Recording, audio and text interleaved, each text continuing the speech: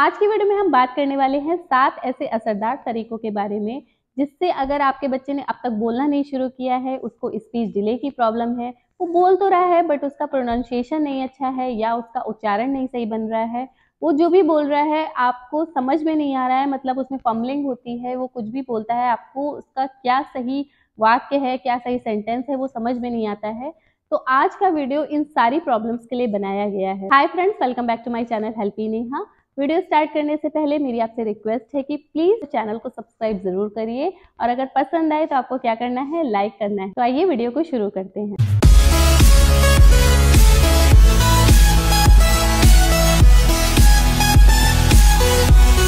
तो जल्दी बात करने का जो पहला तरीका है, वो है कि बच्चों को इशारे को इग्नोर करना।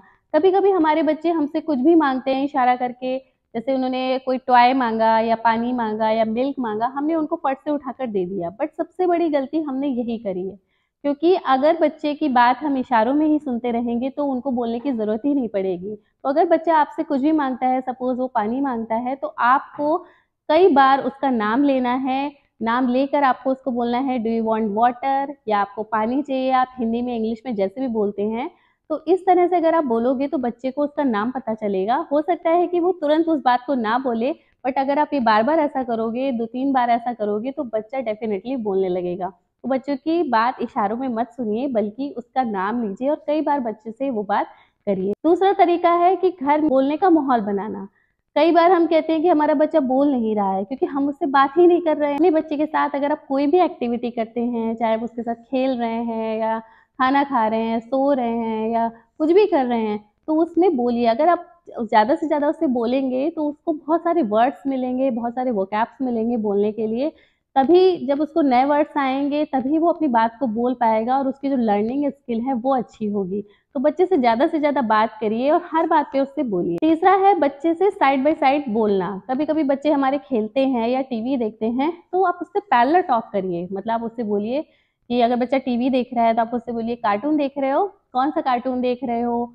वाओ, इसने क्या पहना है? ये क्या कर रहा है? एक सिंपल वर्ड बोले तो आप उसको सेंटेंस में कन्वर्ट कर दीजिए। जैसे उसने बोला कि ये ब्लू कार है मम्मा तो आप उसको बोलिए हाँ ये बहुत सुंदर है, ब्लू कार बहुत सुंदर है। तो जब बच्चा पूरा पूरा सेंटेंस सुनेगा तो धीरे से उसकी भी आदत ऐसी ही पड़ेगी और वो धीरे से बोलना सीख जाएगा। चौथा तरीका है कि बच्चे की तोतली बोली हम सबको अच्छी लगती है और कभी कभी प्यार में या लाड़ में हम भी उससे बोलने लग जाते हैं वैसे ही। तो ये बहुत गलत करते हैं।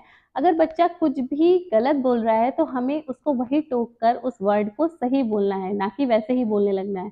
क्योंकि कोई ज़रूरी नहीं है कि बच्चा बड़ा हो तो उसमें वो चीज़ सही हो जाए या वो वर्ड सही हो जाए। कभी कभी बच्चे में वही आदत रह जाती है।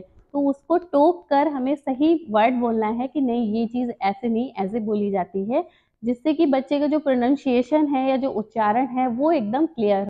पांचवा तरीका है, बच्चे से हमें जब भी बात करनी है तो हमें अपनी जो वॉइस है उसको तो तेज रखना है, लेकिन जो बोलने की स्पीड है वो धीरे रखनी है।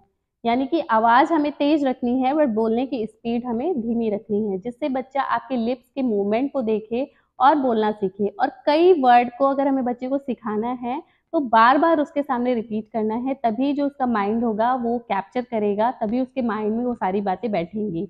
तो हमें बोलते समय क्या ध्यान रखना है? हमें एक तो खूब बात करनी है, दूसरा हमें अपनी आवाज़ तेज रखनी है, लेकिन बोलने की स्पीड को धीमा रखना है, जिससे कि बच्चा का जो माइंड है, वो सारे वर्ड्स उसमें कैप्चर हों और वो अच्छे से और जल्दी बोलने लग जाए। छठा तरीका कभी कभी बच्चा हमसे कुछ पूछता है या कोई भी उसकी क्यूरियसिटी है और हम उसको अवॉइड कर देते हैं। जैसे हम किसी काम में बिज़ी हैं तो हम बोलते हैं, अभी नहीं, बाद में आना। बट ये हमारी बहुत बड़ी गलती होती है। अगर आपके पास उस समय टाइम नहीं है तो आप बाद में उसकी क्यूरियसिटी को ज़रूर शांत करिए। क्योंकि आप बोलते हो, बच्चा बात ही नहीं करता है। और जब उसके मन में कोई बात होती है या वो कुछ पूछना चाहता है तभी वो आपसे इंटरेक्ट करता है और तभी वो आपसे पूछने की कोशिश करता है। अगर उस टाइम उसको अवॉइड कर दोगे, आप उसको नहीं बताओगे, उसको टाइम नहीं दोगे तो वो आपके पास दोबारा नहीं आएगा। तो उसकी क्यूरियोसिटी को शांत करिए, उसके मन में जो भी क्वेश्चन हैं, जो भी वो पूछना चाहता है, उसका जवाब ज़रूर दीजिए, जिससे बच्चे में इंटरेस्ट आए और वो बार बार आपसे बोलने के लिए आए और बोलना भी सीखे। सातवां पॉइंट है कि बच्चे को राइम और सॉन्ग्स ज़रूर सुनाइए बच्चे को ऐसा नहीं लगना चाहिए कि आप उससे किसको कुछ सिखा रहे हो या कुछ पढ़ा रहे हो, बल्कि उसको ऐसा लगना चाहिए कि नॉर्मली आप उससे बात कर रहे हो। जैसे आप उसको फ़िश दिखाते हो तो आप नॉर्मली ऐसे हिंदी में ही गा सकते हो कि मछली जल की रानी है, जिससे बच्चे को इंटरेस्ट आए और उनकी जो लर्निंग स्किल है वो अच्छी हो और जो उनके बोलने का तरीका है वो जल्दी बोलना सीखें और सही और स्पष्ट बोलना सीखें। तो आपको अपने बच्चों से इशारों में नहीं बोलना है उनसे खूब बात करनी है बोल बोल कर खेलना है, उनसे गलत नहीं बोलना है, जो भी गलत बोलना है उसको आपको सही करके बोलना है। घर में आपको बोलने का माहौल रखना है, बच्चे को राइम्स सुनानी है पोम्स सुनानी है और जो भी उनकी क्यूरियोसिटी है उनको शांत करना है। तो ये कुछ ऐसे सेवन टिप्स थे कि अगर आप इसको फॉलो करते हो तो बच्चा आपका जल्दी बोलना सीख जाएगा, साफ़ बोलना सीख जाएगा और अगर वो गलत बोल रहा है तो वो भी उसमें क्लैरिटी आ जाएगी। तो कैसा लगा आपको वीडियो? ज़रूर बताना, कमेंट सेक्शन में ज़रूर बताना और आपका बच्चा किस एज का है और वो कितना बोलना सीखा है, स्पीच डिले की प्रॉब्लम है तो इस वीडियो का मैं लिंक अपने डिस्क्रिप्शन में डाल दूँगी, जो कि आप देखिए, आपको ज़रूर हेल्प मिलेगी अगर आपको वीडियो पसंद आए। तो प्लीज़ लाइक एंड शेयर ज़रूर करिएगा।